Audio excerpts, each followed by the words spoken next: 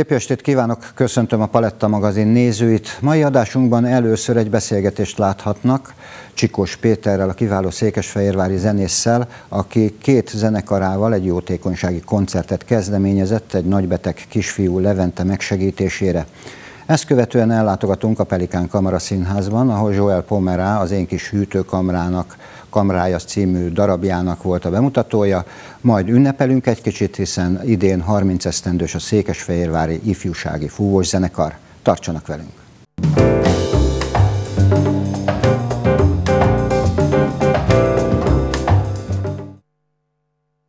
Most kedves nézőink, ahogy a bevezetőben már elhangzott, Székesfehérvár ismét összefogott. Összefogott azért, mert hogy hol legnagyobb a baj, legközelebb a segítség. Talán emlékeznek rá, hogy Zente megsegítésére székesfehérváriak is megmozdultak, ahogy az egész ország, és nagyon rövid idő alatt összegyűlt az a 7 millió forint, amely szükséges volt a másfél éves kisfiú megsegítésére, a gyógyszer megvásárlására. Most azonban folytatódik ez a jótétemény, illetve a jótétemények sorozata. Azért beszélek erről, hiszen mai vendégem is megmozdult, egy zenekarról beszélünk, illetve két zenekarról, akik segíteni szeretnének. Tehát vendégem Csikos Péter, Székesfehérvár népszerű csipikéje, szervusz, örülök, hogy szervusz. itt vagy velünk.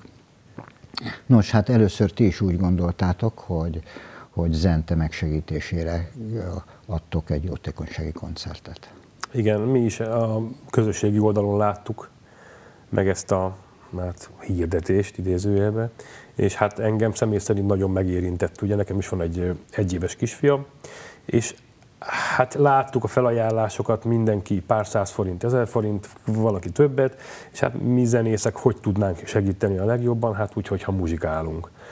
És gondoltam egyet, hogy csak kéne csinálnunk egy koncert programot. Én játszom egy budapesti kötődésű zenekarban is, ami ami közel van a népzenéhez, és hát a Székesfehérvári Galiba zenekarban is játszom, és a, megbeszéltem a két zenekarral, mindenki elsőre mondta, hogy persze, és a táncház, ugye mi második otthonunk, ő, ő azonnal felajánlotta, hogy akkor legyen ott a, ez a koncert.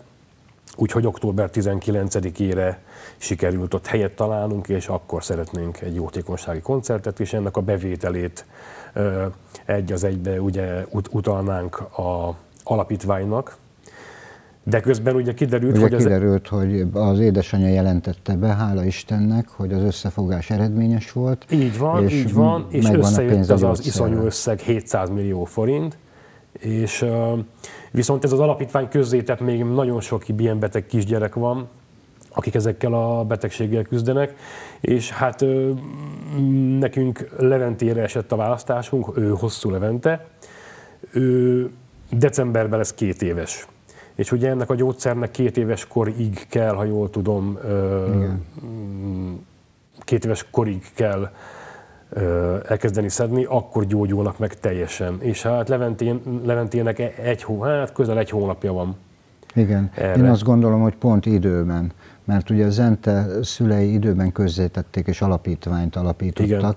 és ezért sikerült viszonylag gyorsan összeszedni ezt a pénzt, hiszen tudjuk, hogy egyébként Ocskai Zsuzsáék, akik kis csicsót, tehát ifja Bocskai Gábornak azt az ütőjét ajánlották fel, amelyet a moszkvai világbajnokságra vitt volna, és ugye három nappal a világbajnokság előtt távozott a földi létből, máig emlékezünk rá, tehát azt az ütőt, azt a pénzt sem a NTE fogja kapni, hanem ők is azt a döntést hozták, hogy számtalan olyan gyermek van, akiken a jótékonyság segíthet csak, hiszen nagyon komoly betegséggel küzdenek. Amikor ti megtudtátok a, egyáltalán, hogy gondolja át egy, egy fiatal, mert én azt hiszem, hogy ez példa is egyben, hogy gondolja át, hogy, hogy a segítségnek ezt az eszközét alkalmazza? hiszen annyira felgyorsult a világ, valljuk meg, hogy ez egy remek példa arra, hogy igenis azért, azért figyelünk mi egymásra.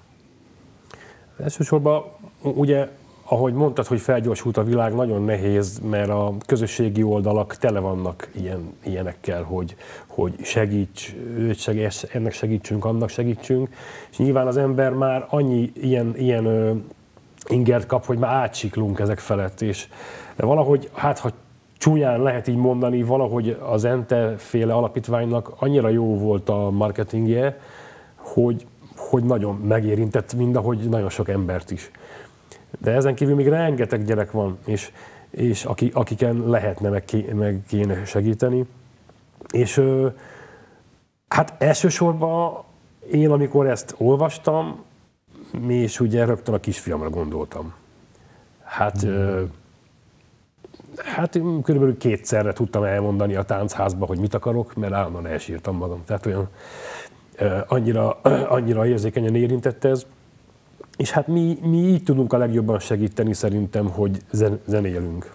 Meséljünk erről a két csapatról. A Galibáról is, mert természetes, hiszen velünk vagytok, meg mi veletek vagyunk évtizedek óta, tehát a, a jobbik felünk ti vagytok népzenében, ez természetes, de azért egy pár szót ejtsünk a csapatról, a mostani állapotáról.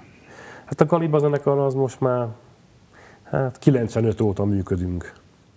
Ugye kísérjük az Albariga tánc együttes, de azon kívül még több, több együttes is szokott minket hívni. Hát mi, nekünk ez már, a, ez már az életünk, tehát így nem is, tudunk, nem is tudom, hogy mit mondjak erről, mert annyira, annyira része az életünknek, hogy így megy. Hát, ha egyszer így nem lenne, így megszűnne, akkor nem is tudom, hogy mi lenne velünk igazából. De hát vagytok, hála Istennek. Vagyunk, vagyunk, vagyunk, nagyon sok fellépésünk van, most is készülünk Finnországba az Alba Tánc Együttessel, csináljuk a városba a kis rendezvényeinket, folkocsmákat, ami, ami egy, egy kötetlen muzsikálás, lehet jönni, hallgatni.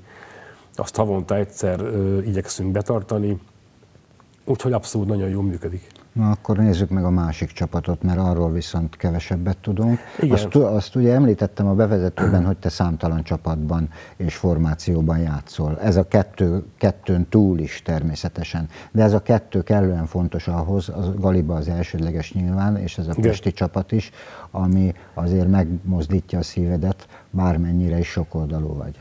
Igen, igen. Hát ugye én a nagybőgőzés mellett elkezdtem tanulgatni kongázni ütős hangszereken, és ö, ö, ez a zenekar, ez a Folkon 45, a 45 az a, az a kis lemezre utal, ezt nem én találtam ki ezt a nevet. Ez a Folkon 45, ugye a nevében is benne van, hogy folk, tehát hogy népzene, népzene a fő csapás irány ennek a zenekarnak.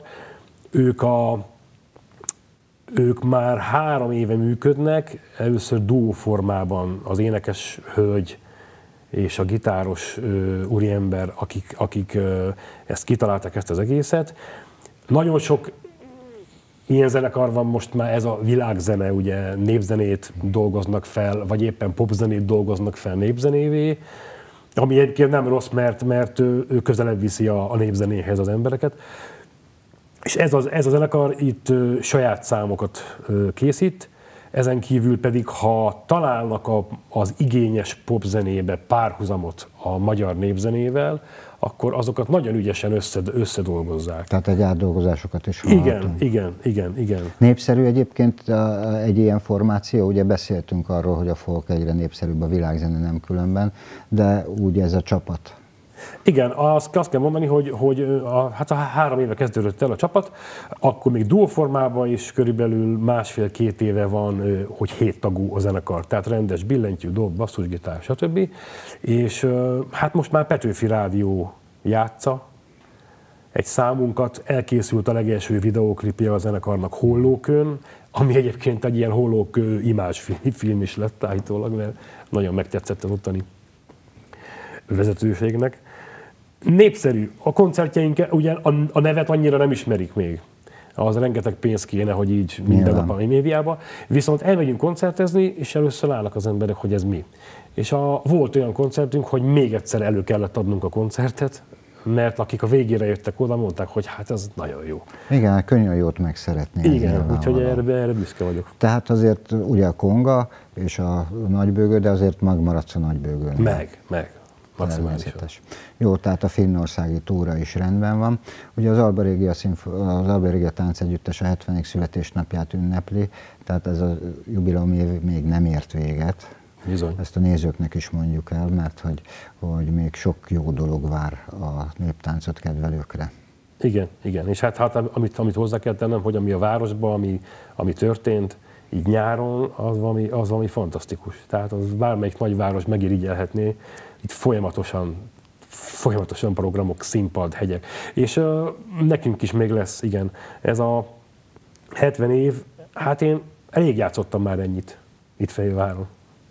No, tehát akkor ismételjük meg, köszönöm szépen, hogy felhívtad a figyelmet erre. Ez egyfajta misszió, én azt gondolom, hogy ez egy olyan küldetés, egy, egy hivatott zenész részéről, zenészek részéről, hiszen két csapatról beszélünk, amit szívesen kell fogadnunk, és azért is adunk teret ennek, mert hogy mi magunk is ott leszünk, és kedves nézőink, ezt önöknek is ígérem, hogy erről beszámolunk, és még egyszer szeretném felhívni a figyelmüket tehát, hogy október 19-én két remek csapat várja az önök tevékeny részvételét arra a jótékonysági estre, amelyet a Malom utcai táncházban rendeznek meg, 19 órakor? 20 órakor. 20 órakor kezdődik, tehát este 8-kor, mert hogy ismét van egy kisfiú, egy mindösszesen egy hónapja van, másfél hónapja, hogy elérje azt a kettő éves kort, amíg ez a gyógyszer még hat. Tehát egy jótékonysági est lesz, várjuk Önöket mindenki, mindenképpen tegyék meg kedvünkért, Levente kedvéért, a szülei kedvéért és a önök lelki nyugtáért is. Köszönöm szépen. Köszönöm szépen, Csipke. Én köszönöm.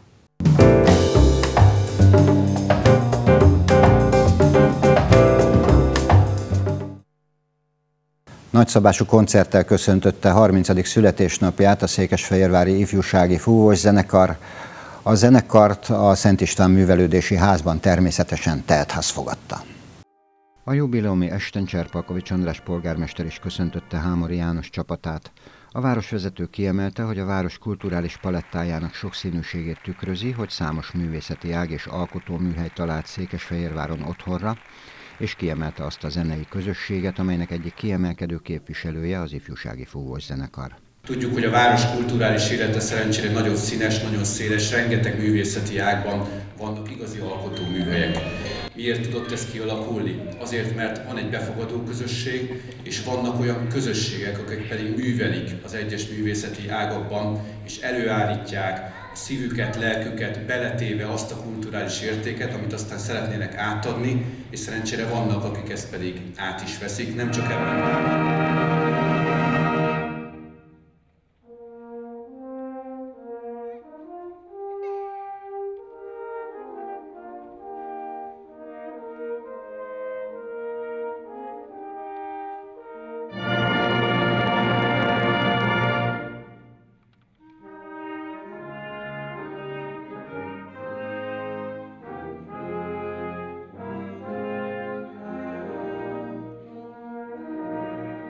János karmester a fellépések turnék sikereiről, a felkészülés fontosságáról osztotta meg gondolatait, illetve feltárta azt is, hogyan lehet csapatot építeni. Mit kell tenni, azt, azt nem tudom megmondani, nincs recept. Nem mondanám, hogy mi egy ilyen valami kiváltságos zenekar lennénk, vagy, vagy bármi, vagy bárkinél jobb és rosszabb. Csak szeretünk zenélni. Azt hiszem, hogy és szilvel lélekkel csináljuk, mindenki egytől egyig, ha ezt a közönség érzi, annak nagyon örülünk. Hogy lehet csapatot építeni, hiszen azért a generációváltás elkerülhetetlen itt is. Igen, talán ez a legsarkalatosabb kérdése az, a, az egész együttlétnek, hogy amellett, hogy szer, nagyon szeretünk zenélni, ez egy közösség. Nem is akármilyen közösség, néha 50-en is vagyunk a színpadon, néha csak 25-en, és több korosztályból adódik ugye össze a, a zenekar. Különböző trükkökkel és mindenféle megoldásokkal, módszerekkel próbáljuk a közönséget, közösséget minél jobban összekovácsolni. Például egy, egy, ami nem trükk, egy külföldi vendégszereplés, mondjuk egy-két hónappal voltunk Erdély, ezelőtt voltunk Erdélybe, és nagyon jól éreztük magunkat. Egy ilyen út nagyon jó barátságokat köt, ezt elmondom még egyszer, tehát egy ilyen út alatt a meglévő barátságok is megerősödnek, és bármi történhet. Hogyan lehet frissen tartani a repertoárt, hiszen rendkívül széles a skálája a fúvós zenének is?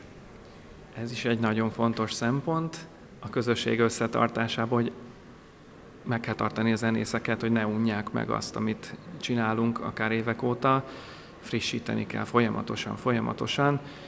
Éppen ezért beveszünk olyan műveket is a repertoárba, amik teljesen maiak.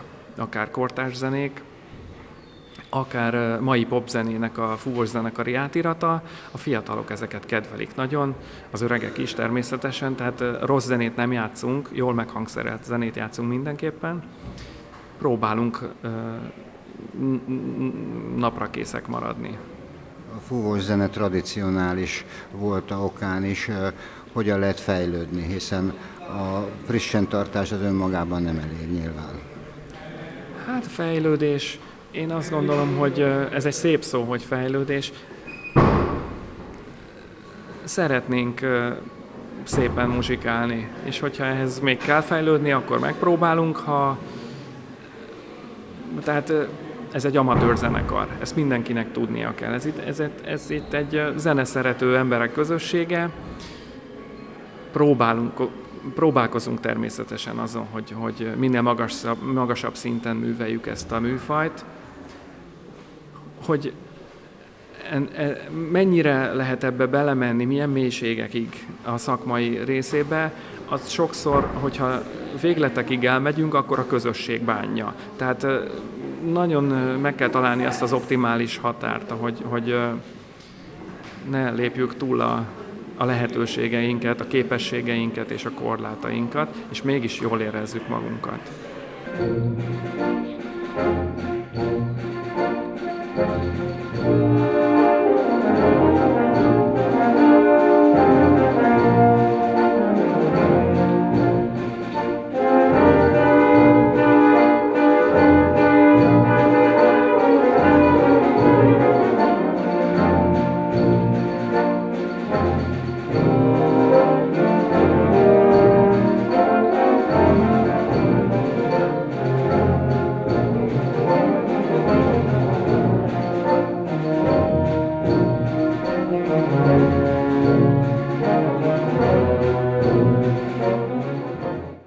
Koncert első felében új dalokat hallhatott a nagy érdemű. Elsőként Ravel Bolero című művének fúvós zenekari átiratát, majd Alfred Reed balladáját játszott el a zenekar, amelyben a szaxofon szólót Szecserta Balázs adta elő. Ezt követően Hidas Frigyes kortárs műve következett. A koncert második felében pedig a zenekar eddigi karmesterei egy általuk választott művet dirigáltak.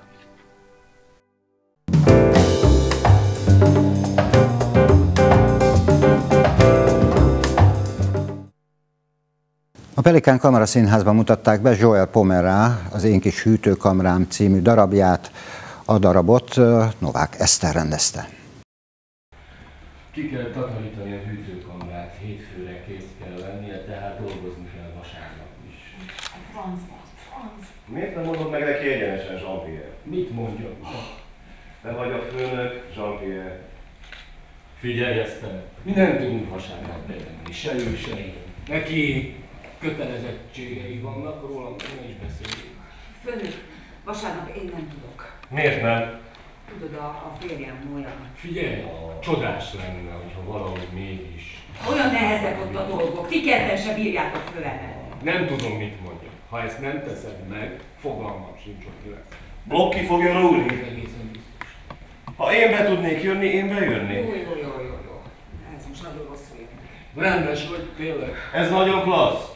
Novák Eszter rendezésében mutatják be a világhírű francia író-rendező Joël Pomerá az Én kis hűtőkamrám című darabját. A Pelikán Kamara Színházban a felgyorsult világban lelki és fizikai mélypontokat hitelesen ábrázoló, emberi gyarlóságokat felszínre hozó történetet tekinthet meg a színház látogató. Novák Eszter rendezőként átöleli a történetet, vigasztalja, igazmondóvá gyúrja, a nézőt pedig gondolkodásra bírja.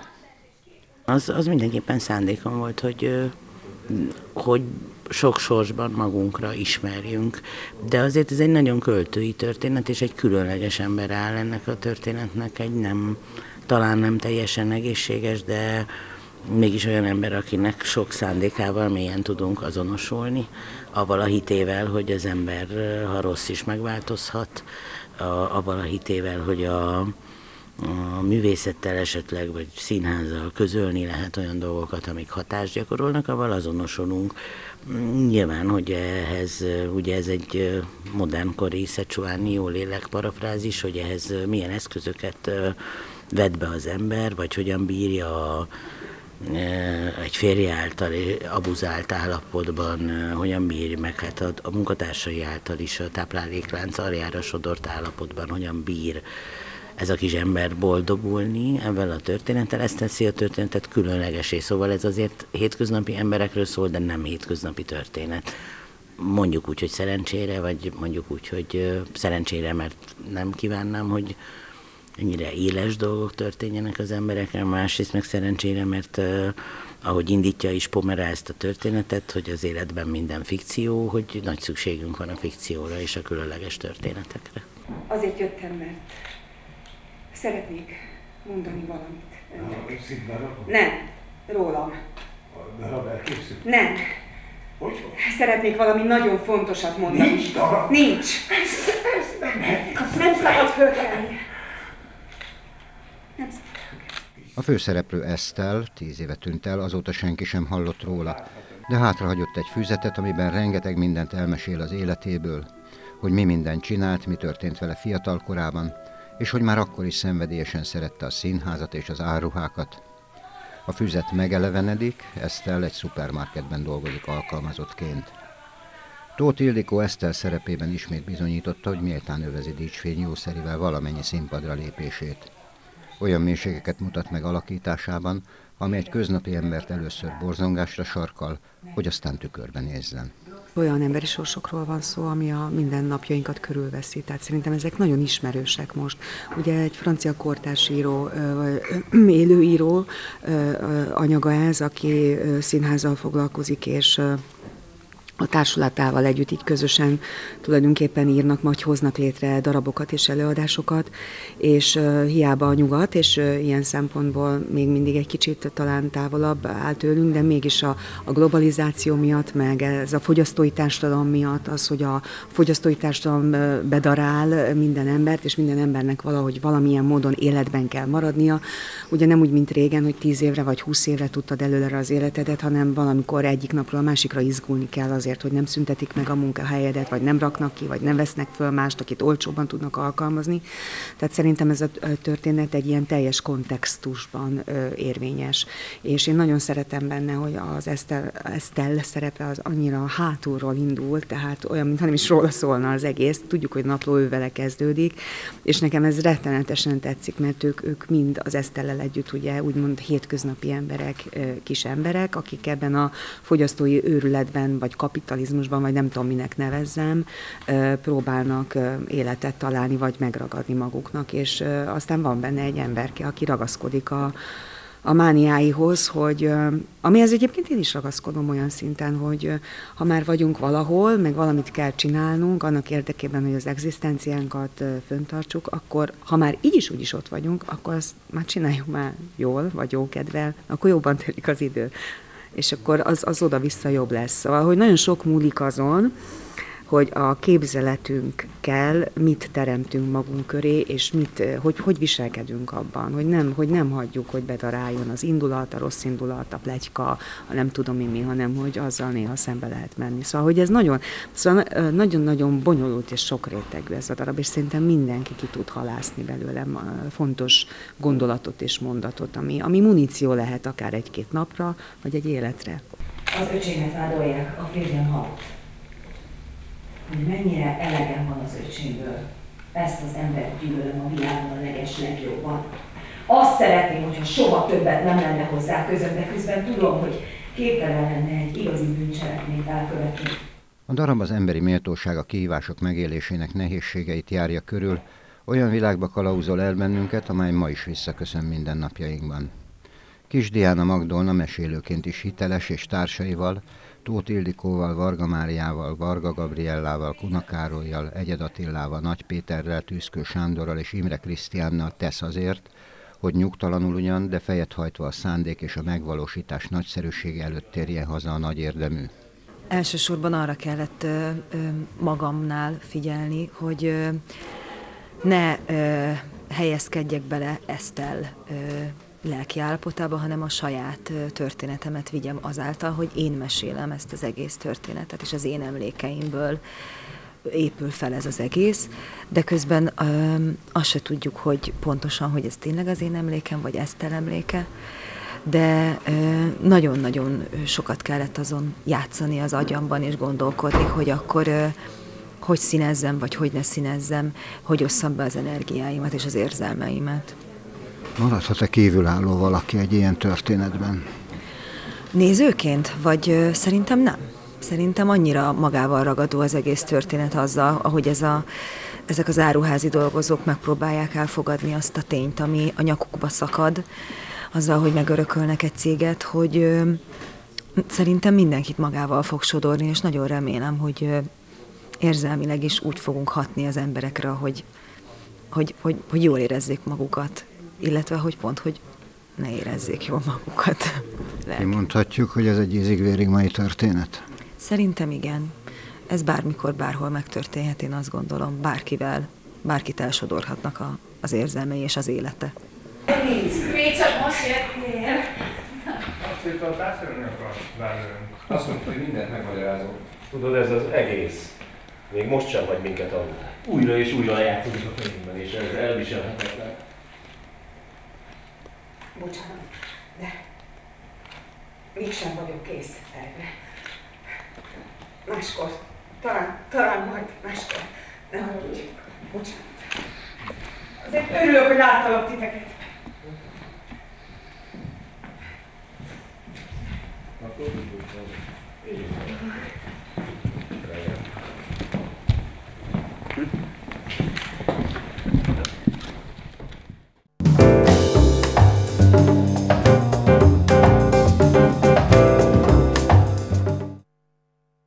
Kedves nézőink, köszönöm megtisztelő figyelmüket, találkozunk a jövő héten, ugyanebben az időpontban, ugyanitt. Viszontlátásra!